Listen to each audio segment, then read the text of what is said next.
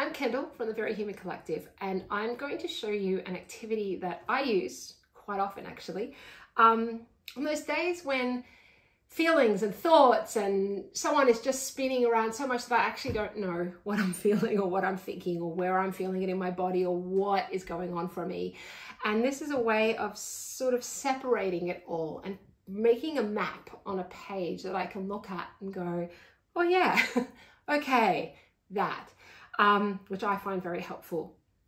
It's also a really good self-regulating thing to do. Sometimes when I'm all over the place, it's actually a way to bring me back in and to just focus on the drawing and on the making of this as much as the information that I'm getting from it.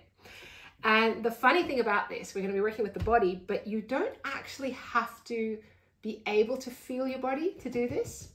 Um, I say that because I've only recently, after lots of therapy, learned to feel my body.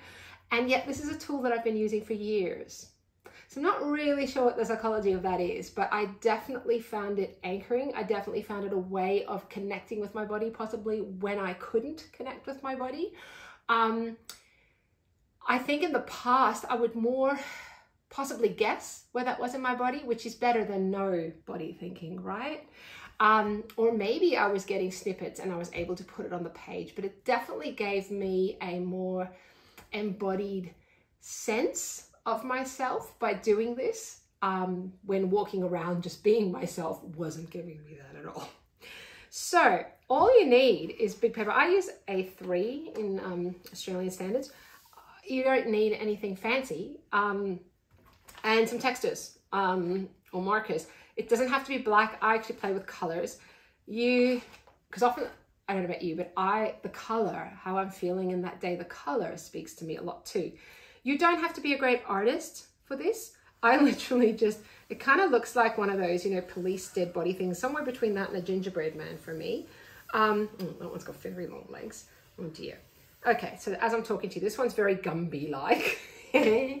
um, you know, I have made some before. So I made a red one and I've made a green one and I've made a black one. Um, I also played with a bit of a body shape um, when I was feeling a little bit pear-shaped one day. It can be your body. It can just be a body if that feels too triggering or too close to home. It really doesn't matter. Um, sometimes I just like to sit and draw these things when I just need to be mindless and then I have a pile of them and I pick the color of that day. That's another option. Let's go with green today. I like to use oil pastels. Why? Because they are just dreamy to work with. And if I'm trying to self-regulate through an exercise, lovely. They're also something that you can pick up anywhere. So in the children's section of your local Kmart or Walmart or whatever, you will find these. You will find these in dollar stores. You will find these all over. There are kiddie versions. You do not need professional fancy versions for this exercise. Um, and they blend together and mush together in such a nice way that I just like to use them. Now remember, we're not trying to create a work of art, although it may end up looking like that. Yours might, mine never have. But we're trying to create like a diary record, just where we are in that moment. Nobody else ever needs to see this. So it doesn't need to look like anything. It just needs to tell you and be something that you can look at and go, aha. On days when I'm really traveling bumpy, I might do this two, three, four, five times, and then it'll give me a map of where I am in the day. It's also nice to kind of do one every day, uh, make it a practice. Whatever works for you. You might do it once and never do it again. You might find it something you do a hundred times. Let's just have fun.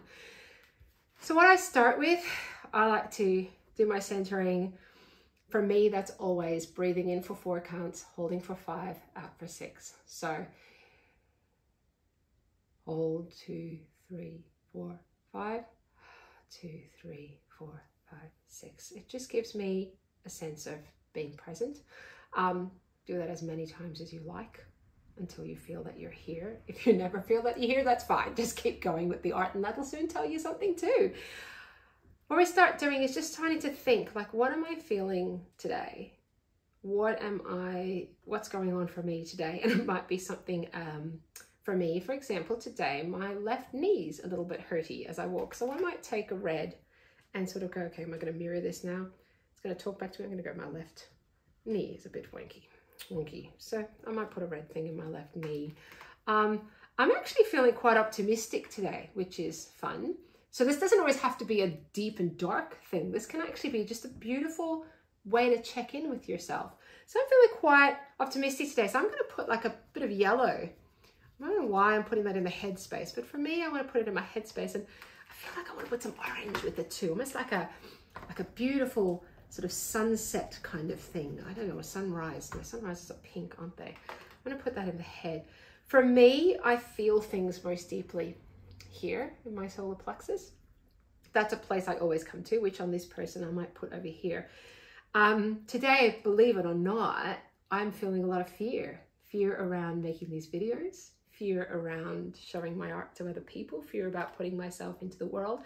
And so fear for me is always a bit gunky um, and it's heavy. I'm gonna use this dark blue and I'm just gonna put like a, a thing there for myself. Now I'm just doing blotches. You can draw things if you want to.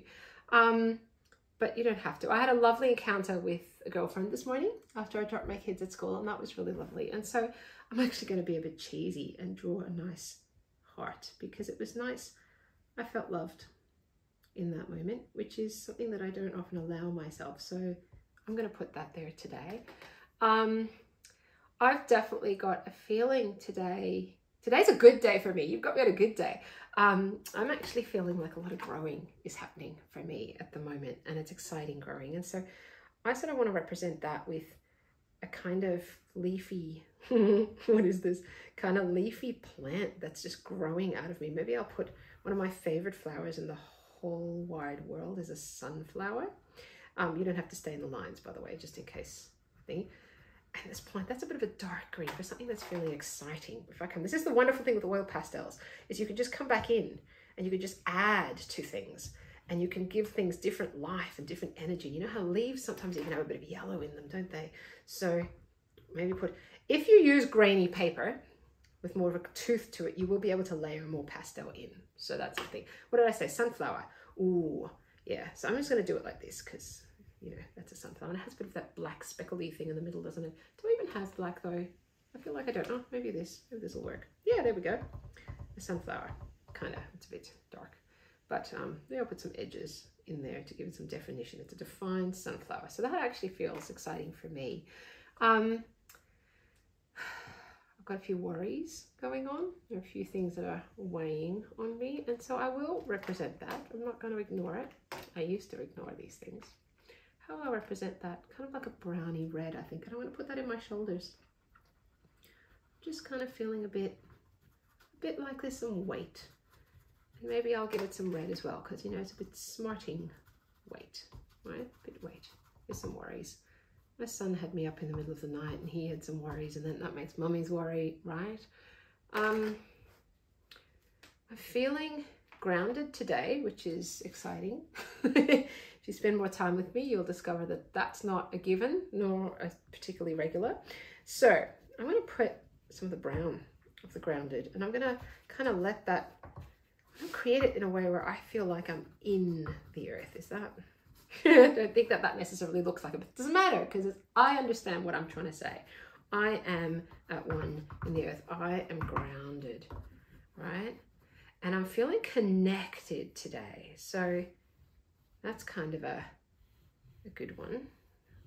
Um, somehow that makes me feel connected. Um, I'm feeling heard today. I'm actually having a really good day. I will show you some pictures of ones that I've done of this that are not such good days. I'm having, so you're not put off a feel you have to be wonderful. Someone recently told me that the throat throat chakra is wanting to be heard and that I think it's blue actually, but for some reason feels pink for me today. I'm going to put it in the throat. Um, my head, I have to admit, no matter what kind of day I'm having, gets a bit cluttered. It gets so, so I have that sunny spot in there. and oh my goodness, overthinking, ruminating, it never goes away. So I'm just putting all of that in there today. Um, had a bit of a churning stomach today. Obviously, there's anxiety that I haven't quite worked out what that is. But it's churning in my stomach. So I'm just gonna put that around my sunflower in the stomach area.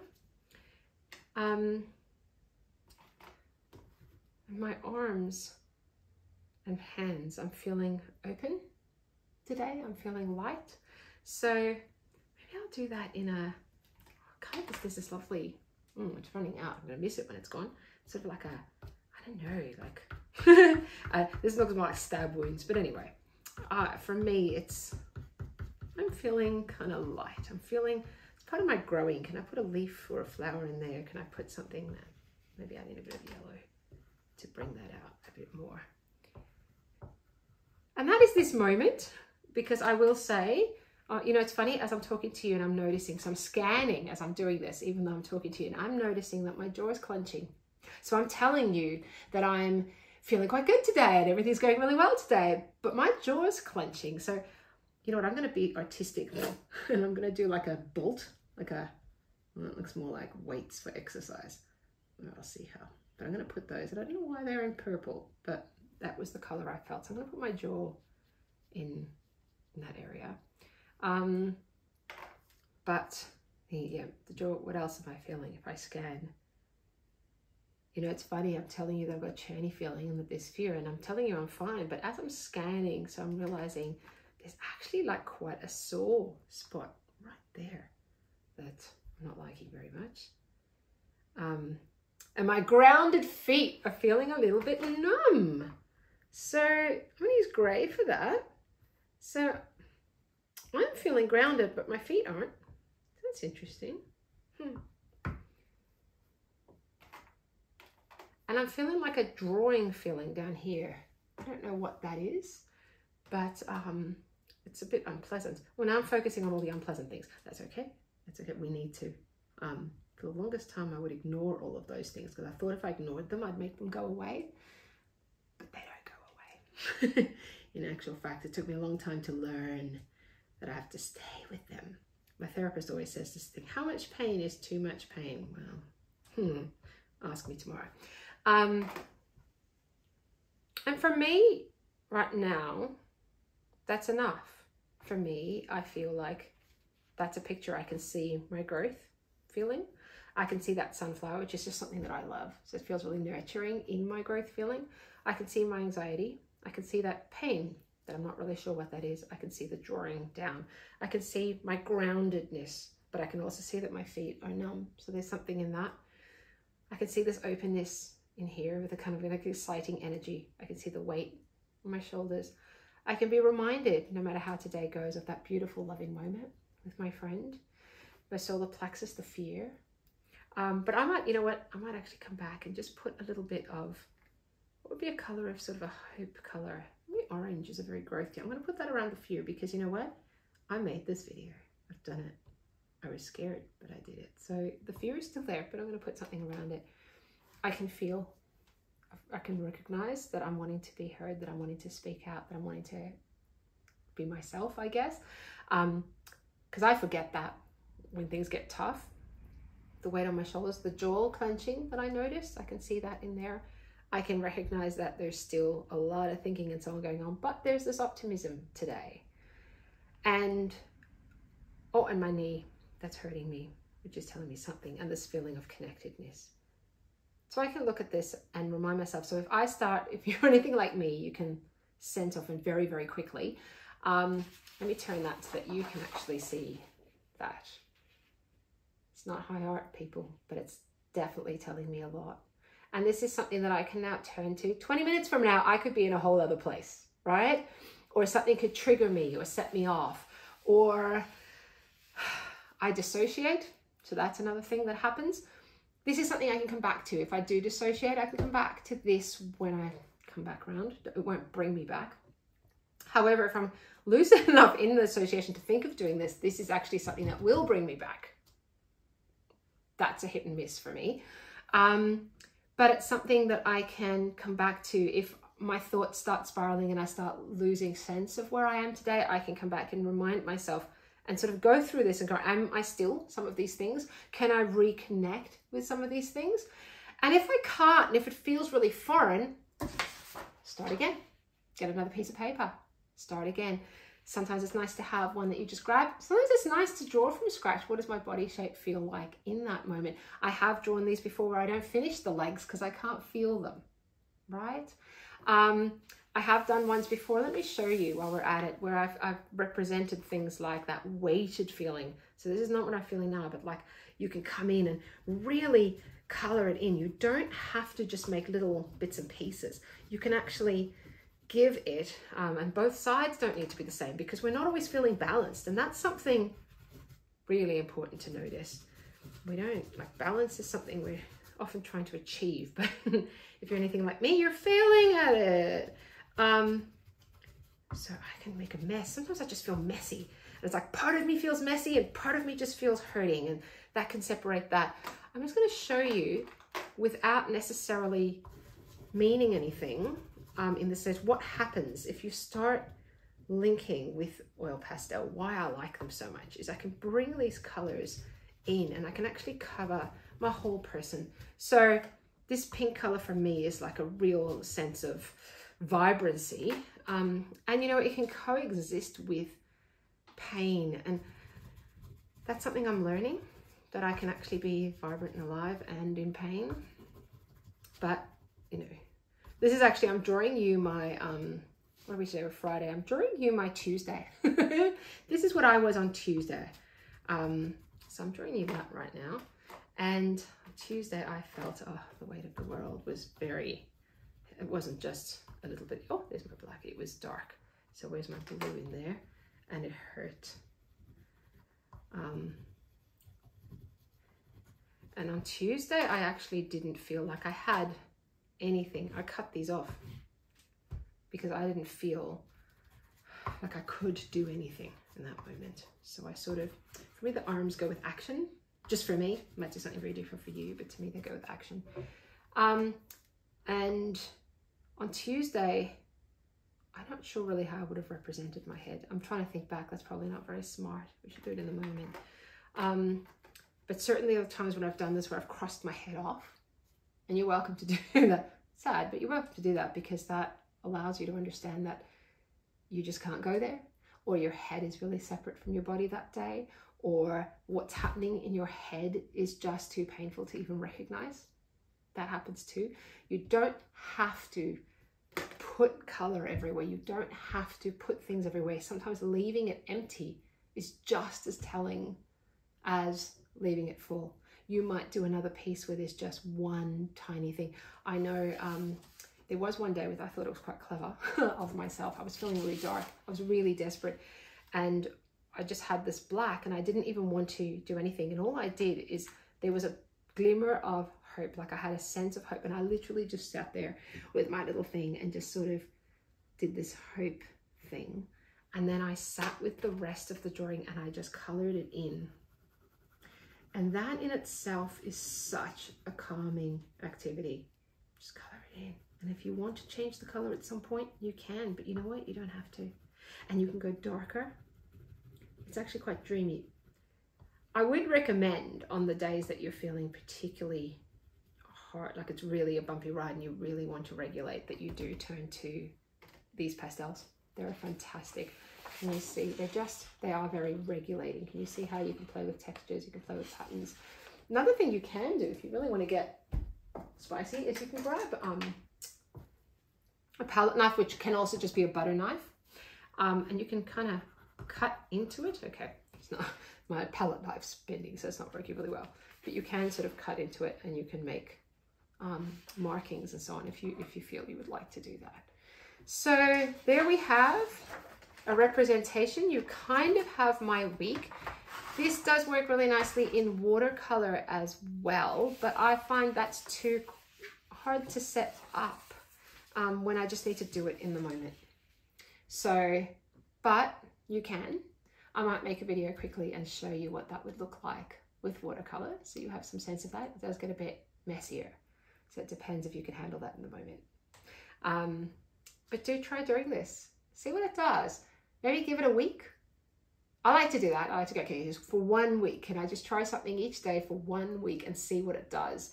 Um, set a special time in the day, just grab it when you want to. Like I said, some days I do it hundreds, like five, six, seven, eight times. Sometimes I've, I have had days where I've done this on the hour because I've just felt that lost and I have no idea how to anchor myself.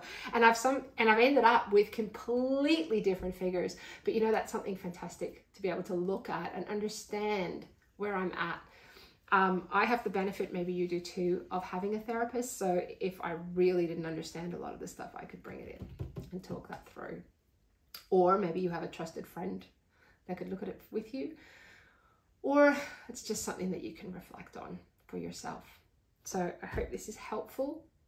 Um, I have no name for it, but um, I know you definitely can go to town. I mean, you could turn this into almost a Zentangle thing. And uh, I have actually created ones before. I feel, gee, that would look great on the wall. Do I want to share that much of my soul? I don't know. But then that's the other question. People don't know that. So you could, or maybe you want to. Anyway, have fun give it a go and keep watching the space for more videos of fun, easy, accessible, regulating and self-exploring art activities that we can do together. Okay, I hope your day is a good one.